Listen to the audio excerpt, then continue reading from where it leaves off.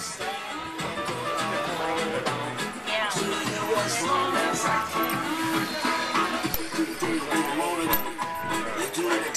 Hey Tommy, I you having fun? that. Yes. Did you see this Woody down here?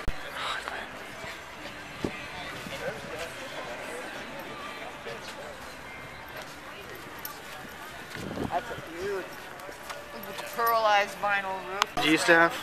57 Chevy. Did you? Awesome. When I was in college.